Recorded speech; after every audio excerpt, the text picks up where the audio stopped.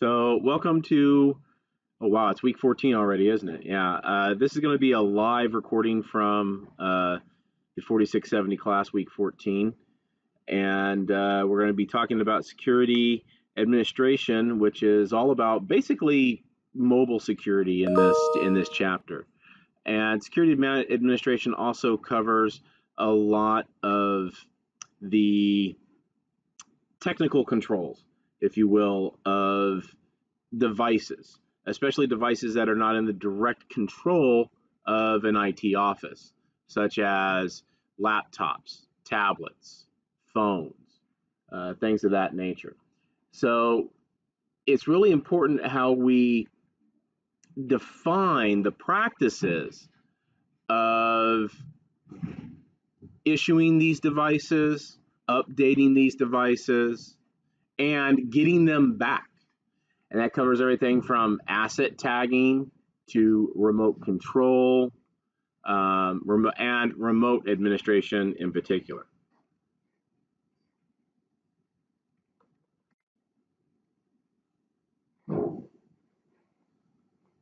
All right, so the book and the Security Plus exam uh, cover this topic by giving scenarios and definition style questions on the exam uh, to the tune that they'll give you a situation and then they'll ask you how it should be handled. Uh, these types of scenario questions are pretty common sense based. So if you don't try to overthink the question, you'll get it right. Uh, typically, there's two answers. There might be a little bit of minutia in there as to the correct answer, and there'll be two other qu- answers on the question that you can completely dismiss because they just sound um, idiotic or erroneous uh, in and of itself.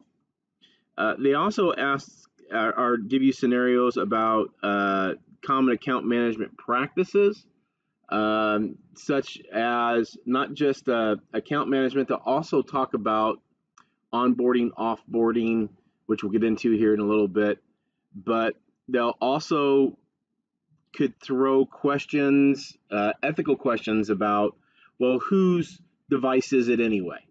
All right. So bring your own device policies come into play there. So is the device yours or is it the company's? Did you sign for it or did you yourself go out and buy and purchase it and you're paying the bill? So this is a common problem that you have in uh, organizations I see it a lot in K 12 uh, and even even here in higher ed, right? This, you know, my, my phone is mine, right? Yes, I have the Blackboard app on it. Yes, I have my uh, Office 365 account on it. I can read my email. But guess what? Campus IT can't touch this. Why? Because it's mine. I'm paying for it. They're not. Right? So now, now, do they have access into my account that they can go into my email and look at it? Yes, but they can't do that on my phone.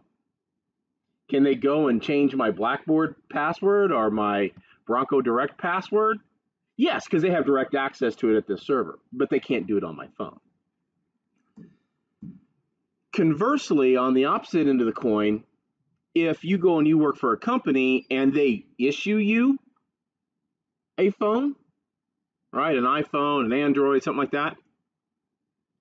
They still, at least here in the state of California, have to make you sign um, a clause stating that they retain ownership, they retain control of that device, and they, at any time, they being the company, at any time can access it with or without your knowledge. So read the fine print. And this has been um, settled in case law over the last 10, uh, 11, 12 years, uh, not only in the state of California, but, but federally and, na- and nationally as well. So the onus is on um, the company to provide that information to the employee. If they don't, if if you come work for me and I just go, oh yeah, here's a phone. If I don't set any boundaries around that, you can do with that phone whatever really you want to. It's almost considered a gift, right? But if I give you the phone, I make you sign an acceptable use agreement, I outline it in the employee handbook, the acceptable use policies around that device, around your email, around your mobile, around any social media account that I give you access to. Okay, then I'm, you know, giving you the uh, the box in which to play in, proverbially. Does that make sense to everybody? Okay. Yeah, I, I got on a soapbox there. I, I'm sorry. all right. So we look at all these different types of connections uh, antennas, Bluetooth, cellular, Wi Fi, infrared, SATCOM, uh, and it can be, uh, like, like I said, it can be extended to social media accounts. It can be extended to email accounts. It can be extended to SMS texting as well. Um, probably one of the crazier stories that I have from uh, being a sysadmin was uh, about 10, 11 years ago. Uh, I was working at a company, I was working in a managed services department, and the owner of the company comes in and, and says, Hey, I have a problem. I have an employee. I suspect that they are doing something wrong. Right and I need you to break in to their phone. And my, you know, immediately my, you know, spidey senses kicked off and I go, well, sir, is this his phone or is it our phone? he goes, oh, it's a company phone. I'm sorry. I was like, okay. And, you know, me being the good person that I was at the company when I was hired on, when they um, gave me my laptop and my phone and everything else, and I'm like, "Where's the uh, acceptable use policy in the uh, company and the uh, employee handbook? Where's the acceptable use policy for email? Where's your password change policy?" So I said, I asked all these, and I'm just like a like a new IT guy, and I'm asking all these questions, and they're like, uh, well, we haven't been work. We've been trying to work on that for a while. I'm like, oh, okay. Well, I'm not accepting this until I actually have that to uh, to sign. So I, I literally over the course of two days wrote their acceptable use policy, their uh, their um, uh, mobile device policy, uh, and their email policy uh, before I accepted my own equipment. the HR the HR person thought I would like walked on water. It was great. Uh, so I was familiar with that. Um, so it was an iPhone. I believe it was uh, an, one of the earlier iPhone um, four. I think it was a, a four model, and um, I basically uh, used uh, a. Um, I'm trying to think how I did this. Oh, I remember. It wasn't even locked at the time because I, I, was worried like, how am I going to break into this thing? How am I going to get? And, and, the phone, when it was handed to me, he didn't even have a security code on it. And uh, lo and behold, I found a lot of illicit texts. I found out uh, that this guy was um, an abusive person, and I dumped all of his SMS text data and uh, put it in a file, uh, and then I went on to his email was completely clean, his corporate email, but he had his personal email on there as well. So, question for you. Because this was a company device, do I have access and do I have the right to look into his personal email? Who says yes? So please note for the recording, there's about two thirds of the class that say yes. Who says no? One person says no. Two people say no. Okay. Well, the question is, it depends, right? It depends. Uh, the answer, excuse me, is depends. All right. At that point, when I took up the uh, information and I saw that there was probable cause of a crime being committed, all right, uh, I could have put that, I could have gone into his personal email. I elected not to. Okay. Because I knew enough about forensics, and I know I don't know a whole lot about forensics, but I knew enough about it that at this point in time, I need to control this evidentiary device, and I've got to call law enforcement. Okay, because I had evidence uh, of uh, an abusive relationship and an actual assault that I had read in these text messages. So I simply took and put the phone aside.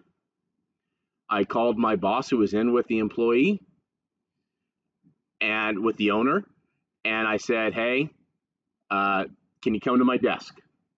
I showed the phone to my my VP, and I said, "At this point in time, we got to call law enforcement because this and this was relatively within the last 72 96 hours that these texts uh, were were done all right um, i don't know how in the world that they came to this conclusion that it was something was going on. The ownership never told me. So I assumed that they had probable cause. But the last thing I remember was handing the phone over to a San Bernardino, San Bernardino County sheriff, putting it in the evidence bag, and then walking the guy out in handcuffs. So, you know, I I hope you never have to go through something like that in your careers. But if you do, you know what? Handle it professionally. Handle it, you know, to the best of your abilities, the best of your knowledge. Right. And always, when in doubt, ask questions and escalate. If if it doesn't look right, if it doesn't sound right, you know, see something, say something. Sorry, went off on a tangent there. But hey, we're talking about uh, mobile uh, device management. Geofencing, the, the, the chapter covers this concept of geofencing. And with this, we have um, phones that operate within a specific area and externally. Um, so there are ways that you can actually have an Android or an iPhone as they uh, come into an environment, they can switch from cellular, 4G, 3G, 5G, LTE, whatever, to 802.11x. All right.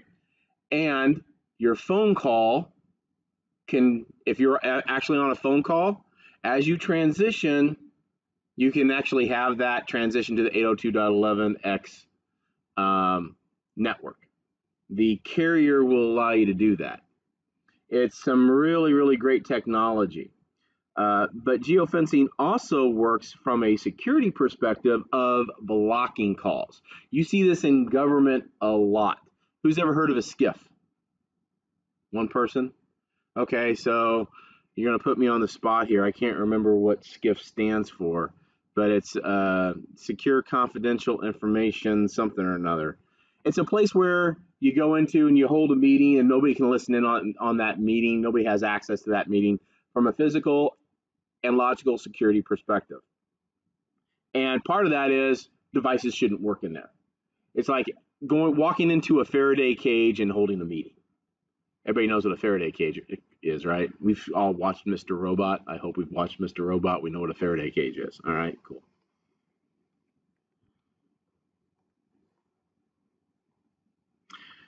All right. So, from an account management perspective, more along the lines of HR, and we talked about this in my uh, example that I gave, um, management of account types is very important. So, one of the things that I said previously in, in, in my classes is you want to disable your root and or administrator account, administrator uh, account in Windows especially your domain admin. Now, obviously, not your domain administrator group. You want to put the individual accounts in there. And you can even subdivide groups under domain admin, or you can create uh, multiple objects in your domain as to what permission users are going to have to what areas, what devices. And that can become very cumbersome and complex very quickly, especially when you take into consideration the size of an organization, right? And management of that uh, can become very difficult. So, how we get around that is we can typically, in large scale companies, we go through audits in a constant uh, process. Where eh, if you go and work for a Fortune 100 company, you're always going to be under an audit. You're either going to be preparing for an audit, in audit, or review of audit. All right, in some form or fashion. Okay, whether it's a process audit, an administrative audit, a financial audit, you know, an XYZ audit. It's uh, in very, very large publicly traded companies, uh, they have very large internal audit um, organizations and they oversee the um, internal processes and they also uh, liaison with the external auditors, typically one of the big four accounting firms. Uh, onboarding and offboarding are the concept of bringing people into an organization and getting people out of an organization. Now, bringing people into an organization is always uh, fun, and there has to be a lot of process around it. I gave an example a little bit earlier about uh, myself getting my um, phone and my laptop and everything else at this company, right? And the process that I had to go through and the the holes, the gaps that they had in it. It wasn't a very large company, but when you go and, um, uh, for example, um, as a contractor, I went and worked for Paramount Pictures for a year. I had a year long contract. And my first three days, uh, I actually had an entire week of onboarding. My first three days of onboarding was nothing but etiquette training how to carry my how, how to act respond and carry myself uh, on the lot as they called it right and what was acceptable behavior what was not acceptable behavior and they outlined it to me that any infraction of unacceptable behavior is terms for dis- dismissal on the spot immediately. And it had everything to do with the folks that worked there. Okay, the um, celebrities, actors, actresses, directors, writers. All right. Uh, for lack of a better term, this was their safe space, right? And the last thing that they wanted to have was you know, starstruck employees of the lot, you know, following them around or, or acting fan, all fanboyish or fangirlish uh, about them, right? So it was very intensive, and they went over example after example of after example of um, cases where they terminated employees. In some cases, long-term employees, because they had a zero tolerance policy. So that's kind of an extreme of an onboarding example. Typically, your onboarding examples are going to be here's your phone, here's the acceptable use policy, here's your laptop or your tablet, here's acceptable use policy, here's all here's the company handbook, read through it, sign it, give it back, right? And then whatever departmental um, onboarding practices that they have, right? And that's going to, you know, be different from somebody who's going into a sales department to somebody who's going into an IT department to somebody who's going to HR to somebody who's going into accounting, right? So offboarding or termination can come in two different flavors. All right? A like I say, a positive experience or a not so positive experience. So let's let's talk about the positive experience first somebody leaves the company. I I I, I give my manager. You know, let's back up a second. Even better, I retire. Right. I give plenty of notice to the organization of the company. Hey, this is my last date. Been with the company X number of years. Uh, I need to go through this entire process of offboarding. Now, retirement is a little bit different.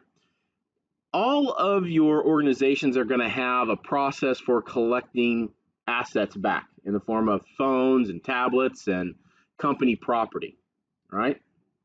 Well, when you re- when you have a retirement, that's a lot easier because you can kind of plan that out and space that out uh, over time. Um, another, and I'm going to say positive um, offboarding is a resignation. Now, a resignation with notice, I'll put it that way. And there's two different types of resignations. All right. We'll cover the first one here. A resignation with notice. And a resignation with notice, typically in the industry, is going to be anywhere from two weeks to a full month of notice that you're leaving. Okay. Um, you know, it's acceptable practice for someone in their 20s, early 30s, uh, entry level to mid career, two weeks notice. I'm out the door. Thank you very much for your uh, for the opportunity. I appreciate it. Right. And over that two weeks, they can go through the process of uh, turning things over, giving things back. You know, it's it's still very structured, right? And it's not seen as a threatening dismissal, which is the next one. All right, a termination. And terminations come in a couple different aspects as well. All right, termination with and without cause. Okay, termination without cause, all right, is something where you basically have like a downsizing event. We saw it very prevalently in 2008, 2009, 2010 with the recession, right? People walked in and all of a sudden, oh, wow, uh, we're downsizing by 50% today. And guess what? Sorry, you lost. And that is where you have a process in place to not only take back assets from one person, but take back assets from a lot of individuals. A lot of individuals. Right? And there's case after case after case that showed that um, where um, it was difficult because HR, this kind of put a lot of pressure on HR departments uh, to have everything in place. Um, and then you have your terminations for cause. All right. Somebody did something bad, not necessarily criminal, but you know what? Your your I'm sorry, your services are no longer are needed. Thank you very much. I need all your stuff now. And those are the hard ones for IT departments because they need to be very tediously choreographed with HR to cut off accounts, disable accounts, um, collect uh, assets, uh, cut off communication with customers, uh, and thoroughly communicate it. And the higher up the food chain the individual is, the harder it gets. All right, because you could even have a PR. Uh, you could get your um, chief, um, oh, your information officer involved or your communications officer involved because if you have a termination of, say, uh, a CFO or a CIO or a CEO of a company, right? Um, board of directors comes down and says, "Hey, this is a bad person. He's or she's done something uh, uh, potentially illegal." They're dismissed. Uh, HR and IT and the organizations that uh, within the company that handle dismissals have to be very nimble in getting that done very quickly. And then you have the entire potential press fallout from that. Okay, especially when you get into Fortune 100, Fortune 50 companies. Okay, so that kind of concludes the uh, the chapter on um, security administration. It's not really security administration from a technical perspective as much as it's security administration from uh, an administrative side, HR side perspective, because IT departments, especially IT security, have to work in lockstep with human resources. I'm going to stop the recording now. Thank you very much for your, your time. I'm going to ask the class here for, for questions in just a second.